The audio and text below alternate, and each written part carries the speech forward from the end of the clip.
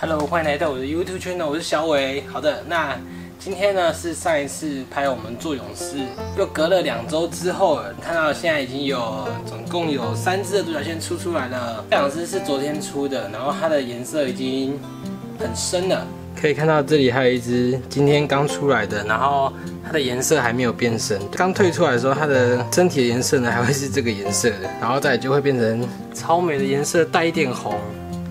看这个。在光下的颜色带有点红，然后这只已经出来两天了。好的，那我们今天呢就是要来布置成虫的饲养环境。母的到时候我会把它也放，到它们去野外产卵，让它们找比较适合继续繁殖的地方产卵。毕竟那时候是我们在空注的时候不小心把它们挖出来的，对，所以。母的，如果等它们确定有交配之后呢，我就会把它送回它们原本的环境，让它们可以继续下繁殖下一代。对，那公的我可能就会养到最后。好的，那其实这个也不太需要整理，我们接下来就是要布新的土，对，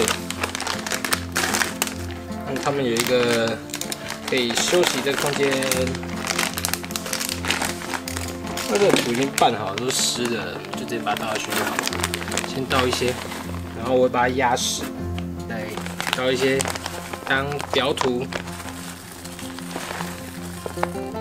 独角仙呢，要它的成虫的话，非常注意一点，就是它有时候它可能会翻身，所以我们一定要有东西可以让它。像甲虫呢，甲虫它就是最怕的就是翻身，就是身体翻成这样子。对，它如果爬不起来的话，可能就会到时候它就会死掉。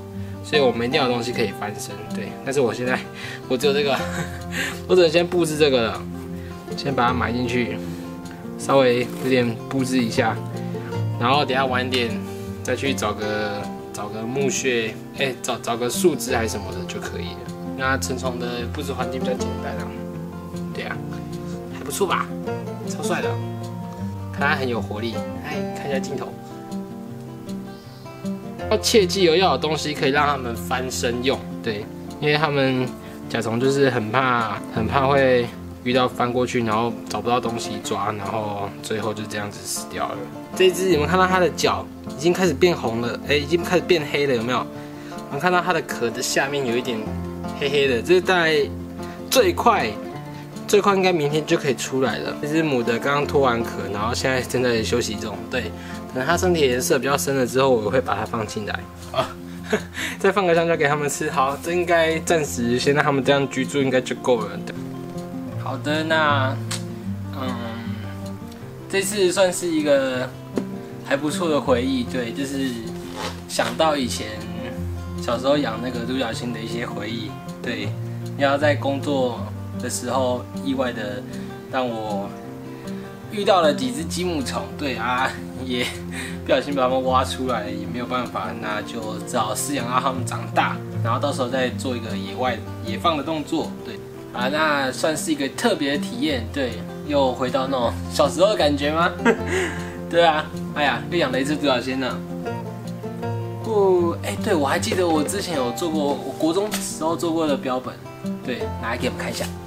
这个噔噔，这是我国中的时候做的，你们看到这里，这只是扣头虫，然后这只是我做的展翅的独角仙，对，那个扁锹，然后独角仙，啊，这个黑燕虫，还有天天牛，这。像我这个标本都已经留了十几年有了吧？对啊，十几年了。到他们到现在，他们还是一样，非常的漂亮。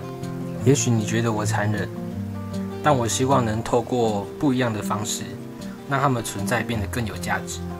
好了，那我们这集影片就到这边结束喽。对，那如果你喜欢这部影片，接下来点个喜欢。如果想观看更多影片的话，也别忘订阅我。